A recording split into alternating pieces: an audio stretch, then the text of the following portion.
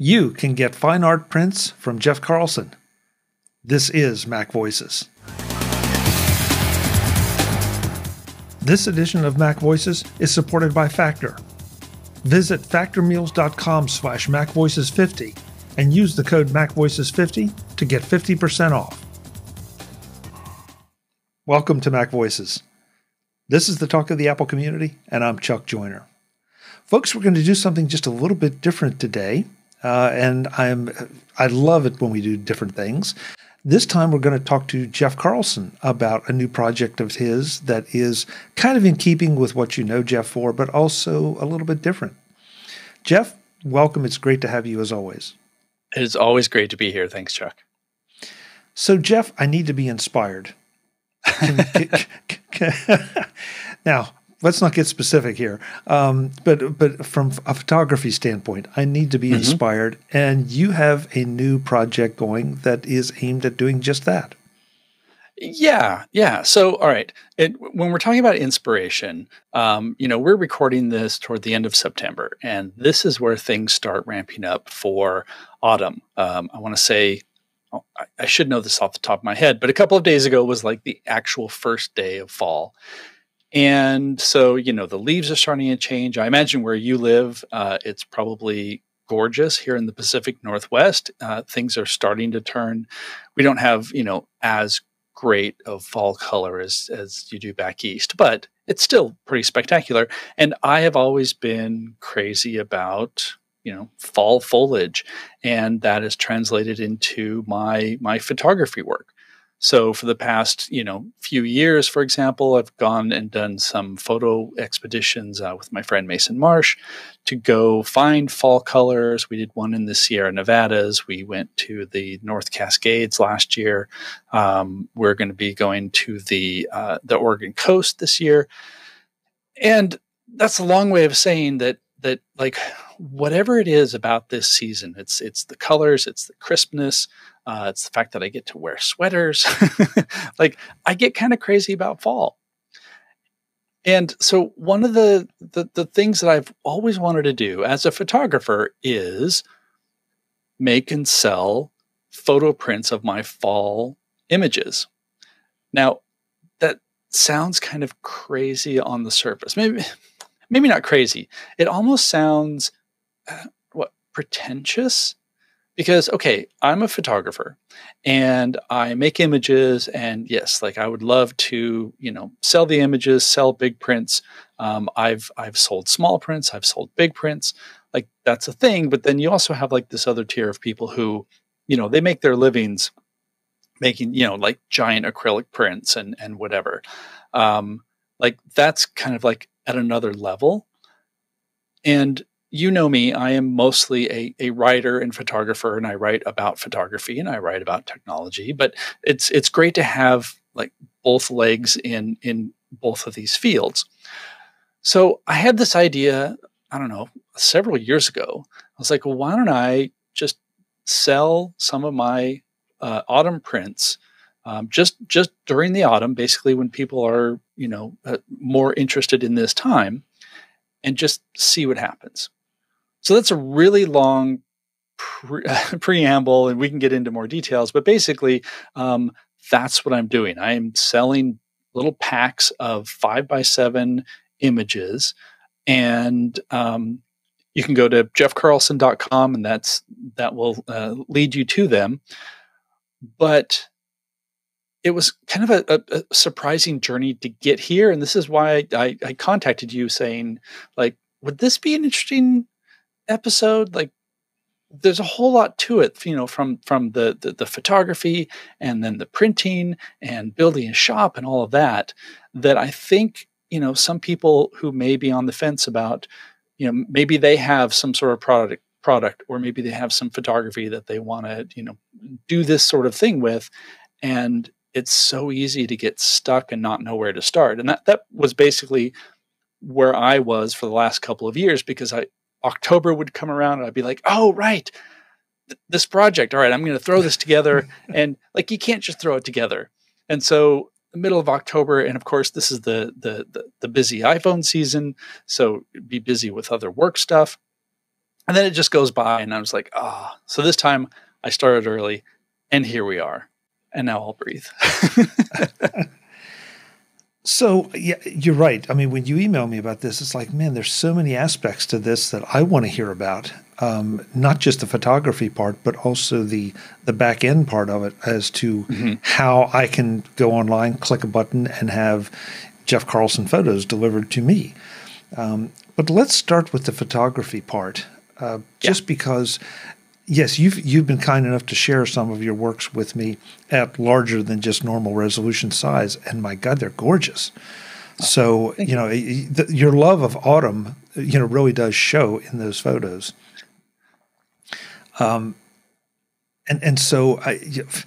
It, it's a. I mean, it's got to be a real challenge for a photographer, you know, because look, plenty of people publish photo books, and that's great but that usually involves a little too much money and you know it's more almost more of a commitment to buy than yeah. you know what what you're trying to do here. And so that's the first thing. The second thing i really loved is when i went to the website yeah it's the five by sevens that is your is your primary thing but you also sell larger versions.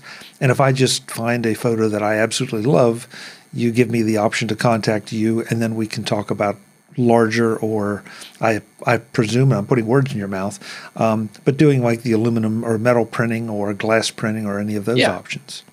Yeah, yeah, yeah, exactly. Um, yeah, so not really sure where to start there. Um, there are a few things that that that go into this. Uh, one is, you know, a having having images that I love and that I want to share, um, and also, I mean, you know, to be honest, having images that I think are worthy of uh, a printing, but also b that that someone would want. And so some of this too, I think, is is knowing your audience. Um, and here, I mean, this is also really sort of a, a, a, big risk because, like, I have a few people in mind uh, who have ordered prints that were sort of like the project I had them in mind when I did the project. I was like, all right, I know somebody who would absolutely love this, and you know some other people who would be interested in it. So you know, like like having at least that sort of uh, specificity definitely helps because I mean, I don't know, I in the past I have suffered from, uh, maybe continue to suffer from that idea that, hey, I've got really nice images. Surely somebody will want to buy this because it is a nice image. And that only goes so far. And to be quite honest, it doesn't go very far because there's so much competition out there. So by trying to narrow this down, trying to, to, to focus this so that it's not just, hey, look at me, I've got uh, prints to sell. Um, I've, I mean, the, there's a spot on my website, jeffcarlson.com, that you can, you know, contact me and it's got examples of, of prints and like all of that, but it's, it's just sort of there and static. And it's, you know, things that I've done of all types of, you know, landscapes and portraits and like all sorts of things. So by doing this as a like focused project, I'm hoping that it'll be more successful because it's it's this thing. And and it's not just i've got prints. It's how can we make something that is unique in this case like selling packs of three five by seven inch prints for an affordable amount right? So it gives some constraints and also hopefully will make somebody go to the site and say wow you know what? Uh, i like the images and having them in this like you know nice little compact pack that's only 50 bucks with free shipping i have to throw that in because now i'm i'm selling it um, you know like like that will hopefully remove the friction of dealing with a larger print because when you do larger prints you can either specify things up front like okay you can only get this image as a you know 24 by 30 metal print. And that's fine but that that narrows the the number of people who would who would want that. On the other side of that and this is a perfectly um, this is a, a side that I'm perfectly willing to do, but is like you mentioned, where you can contact me and say, you know what, I really like this image, but I don't want it as a five by seven. I, I do want something bigger, but what are the options? So, you know, I, I have some set up so that it prints on the same kind of paper at larger sizes, but, you know, someone might want something that is, I don't know, custom framed, or they might want it on acrylic, or they might want it as a metal print with a, you know, little um, you know backing board that you know lifts it off the wall a little bit and then that becomes a more complicated thing because then you're entering into a, a conversation and you know conversations are great. And for people who order things that way it's fantastic. But what i'm hoping to do with this project is just you know have the person who says these are great. I can afford this. I'm just going to order it and it'll be delivered to me. And I know that Jeff printed these and they're signed and I've got this, you know, hand created thing from somebody that I know or whose whose work that I like. So it has that that kind of focus thing that that uh, I hope you know is appealing to more people. Well, I, I it's fascinating to listen to your thought process because you're right. I, have seen images online that I really like, and then somebody wants to sell them to me in 20 by 30, and the mm-hmm. price is, to my way of thinking, a little prohibitive. But I'd still love to own that, you know, maybe in a smaller version. And that doesn't mean I might not eventually love it so much that I'd want the larger version. But you know, it's it's making it affordable. And you know, I, we I, we were joking when we started out about inspiration, but I find I, I personally find photos like like your we're talking about here, they are inspirational because they make me want to go out and try my meager skills at shooting. Um, and I don't mind telling you the best example for that with with me. I have one wall in my kitchen that is photos of food that I've really enjoyed at different restaurants to nice. inspire me to try to to you know to to equal it. It always yeah. fails miserably, but I'm inspired to at least try. it's sometimes the, the inspiration is the thing, right? Yeah, exactly, exactly. Plus the fact that people come in and say, "Oh, that's interesting. Why did you do that?" Or "Where's this from?" Or in this case of what you're doing, isn't isn't that beautiful? You know, that's where did you get those? The guy must really know what he's doing from a photography standpoint. so, um, so at the risk of going a little bit photo geeky, um, mm-hmm. tell us about uh, what what paper you selected and you know how you decided on what what process to use. Yeah. So um, it, it's funny. I need to uh, bring up my website to tell you exactly what the what the paper is because it has a it's a uh, it's a paper by Moab, the company Moab.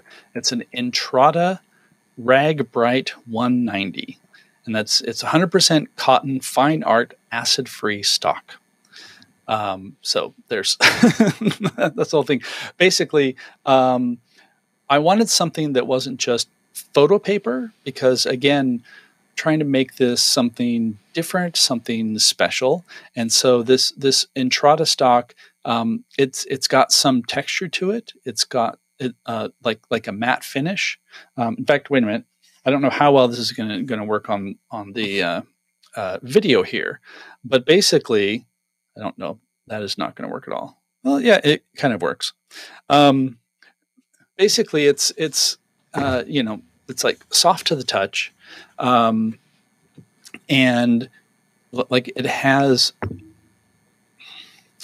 like like a very faint texture but it's definitely texture. So it's not like like you went to you know the neighborhood drugstore and they ran off a bunch of prints on their their their glossy machine and they all you know curl up over like 10 or 15 minutes.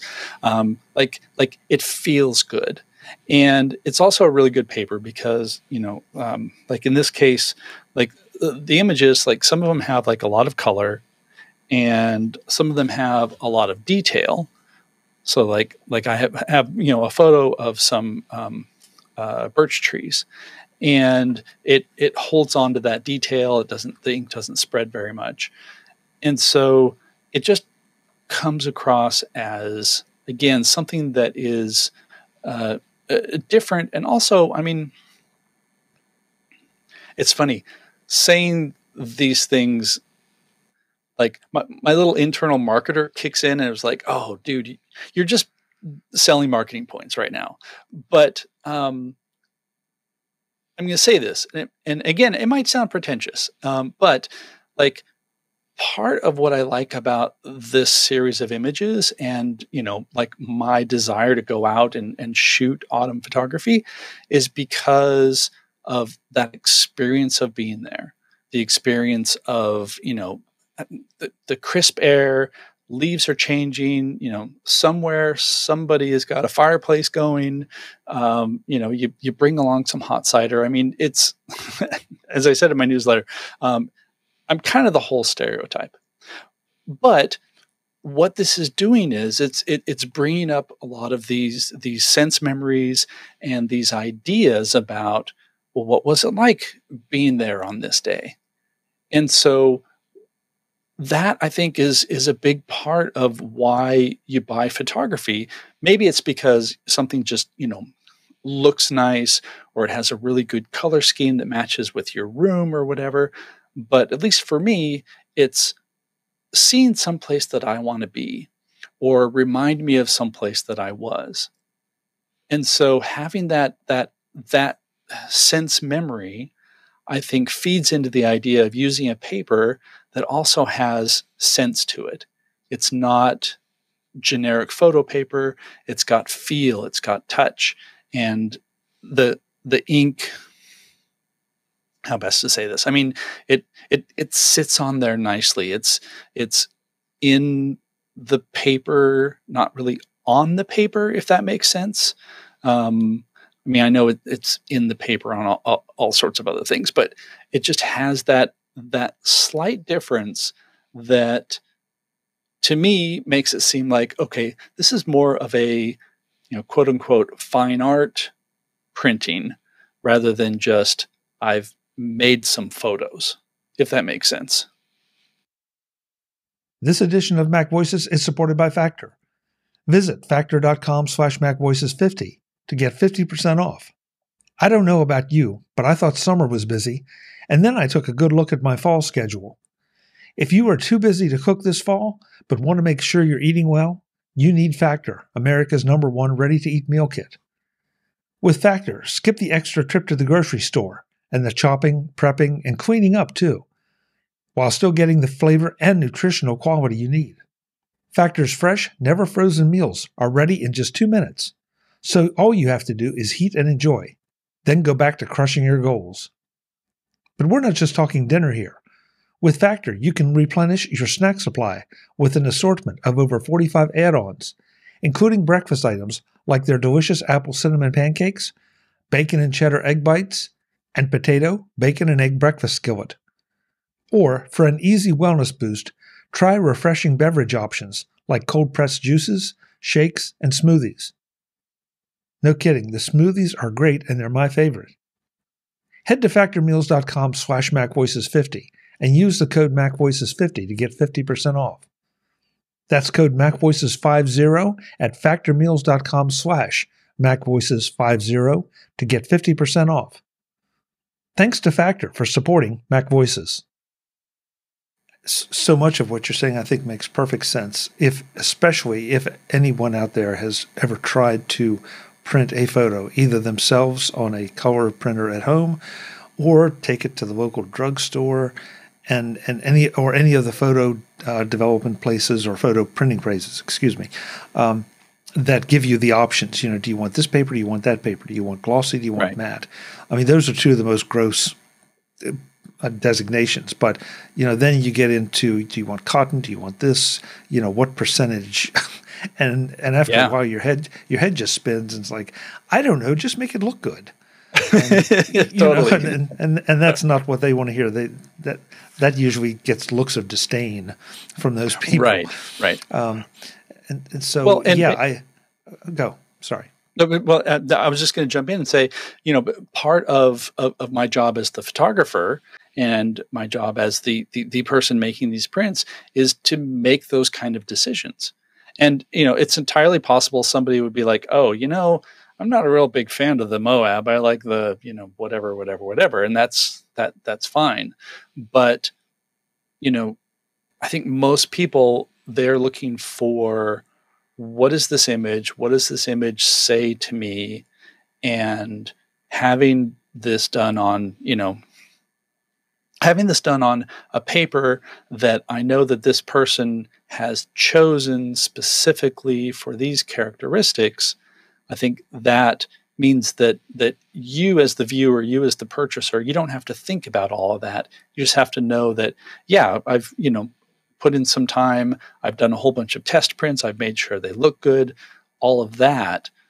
And that's all taken care of because what I want you to focus on is this image really reminds me of, you know, when I was uh, in the, I don't know, really bad at examples today. You know, when I took a vacation to uh, to Leavenworth, Washington. So for, for, a lot of these photos were taken in Leavenworth. Uh, you know, I remember being there, and I remember being there at this time, or I was a little bit late to the season and so a lot of the color had gone and i, I want to remember it like this um, or you know like when i was a kid i used to you know run around in the forest like those kind of things that's what i want people to be thinking about and that's hopefully what, what that evokes and they just know that yeah i've i've done a lot of work and i've i've made sure that this is going to be a really nice fine art photo experience I don't want that point to get lost, Jeff, I, because I, am thinking about the, the photos I have in my home, and they all have a particular meaning. I've, I've never mm-hmm. been one to just you know go to go to one of the home decor stores and pop something up and say, "Oh, that looks good." You know, I wanted to yeah. I wanted to remind me of something, and whether it's a golf course I've played or it's a golf course I want to play. Mm-hmm. Um, the, the photos I've taken obviously relate to a place I've been, but there are also times when I never seem to do justice to the places I've been that I really love. But somebody has, somebody like you mm-hmm. that knows what they're doing and can capture the essence. And so right away, I'm walking in and saying, I that I'm there, you know, and, and I'm not at Jeff Carlson's there. I'm at Chuck Joiner's there, but I'm mm-hmm. doing it through you.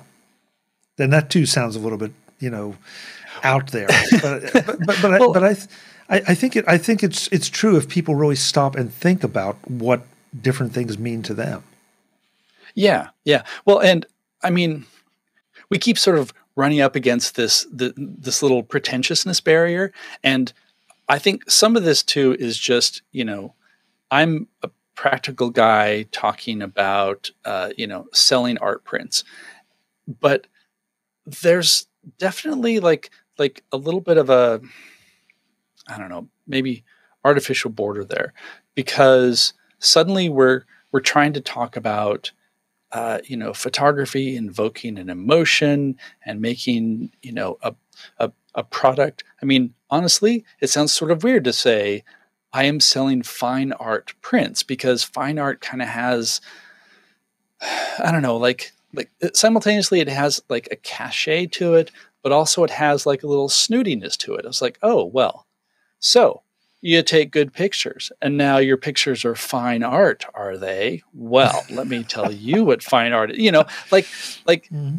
that's something that's that that's just out there, and I think that's.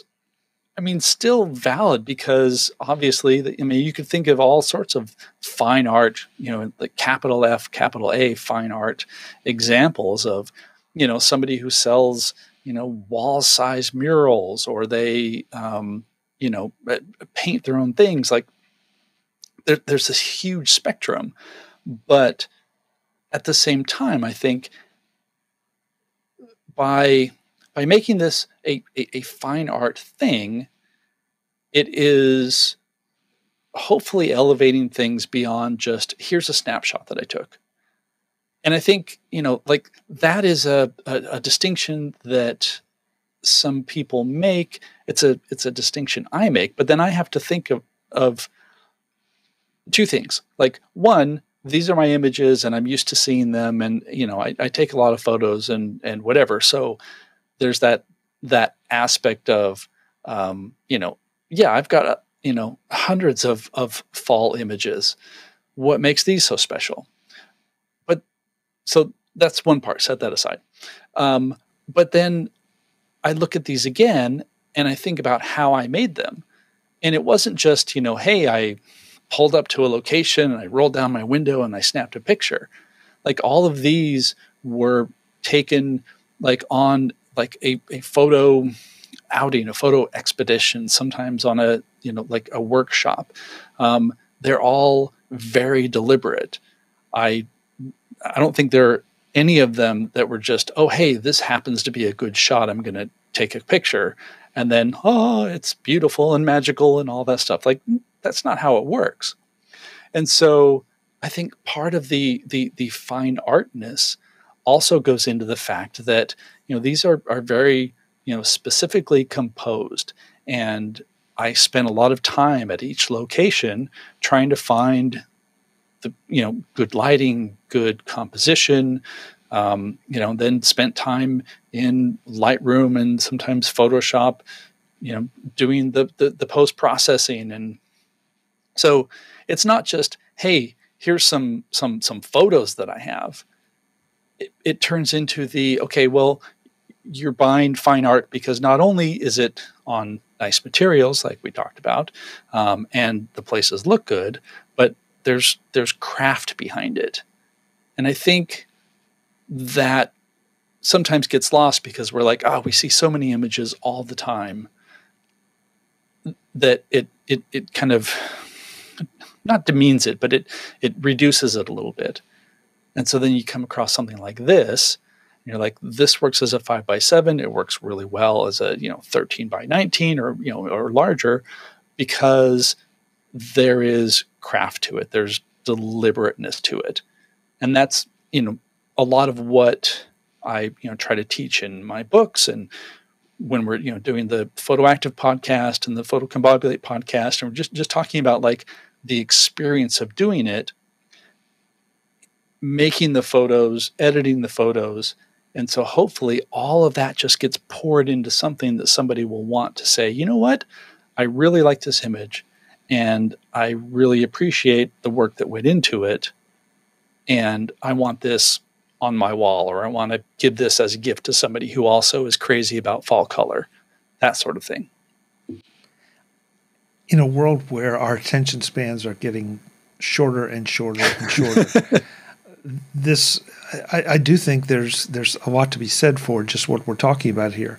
That taking just a just a moment to really appreciate something you know, stop taking selfies of you, you know, eating a, eating an ice cream cone, and go and appreciate something like this that can get you in that in, in a particular mood or remind you of something. Um, and and of course, I'm I'm with you. Fall is unconditionally my favorite time of year. Fall golf is the best golf because, like you say, it's it's nice and crisp. It's you know you you aren't too hot, you aren't too cold, and my God, you're surrounded by just incredible colors and scenery almost no matter where you go. So yeah, I'm I'm with you. I'm with you. That should be your next co- uh, project is get on golf courses in the fall. Okay. Yeah. So sounds great. I don't know. I'm I mean, Jeff. I mean, big big expanses of green with with you know, like surrounded by trees i think that's that's probably okay yeah. Yes. Suddenly i'm giving jeff carlson homework. Um, yeah usually i'm the one giving you homework. This is great. Yeah exactly exactly. I, I, I kind of like this. Jeff is back next time to talk about this fine art prints project from a different angle the business angle. We talk about how he went about building the site to sell you the prints the services he used, and some of the challenges he faced. That's next time on Mac Voices. We'll see you then. As always, I'm Chuck Joiner. Thanks for watching. Visit MacVoices.com for show notes and to connect with Chuck on social media. Get involved in our Facebook group or like our Facebook page, and get more out of your Apple tech with Mac Voices Magazine, free on Flipboard and on the web.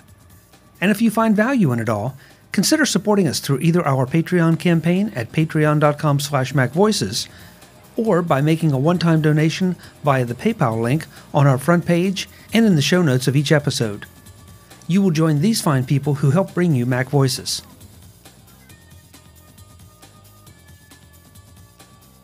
Advertising handled by Backbeat Media at backbeatmedia.com.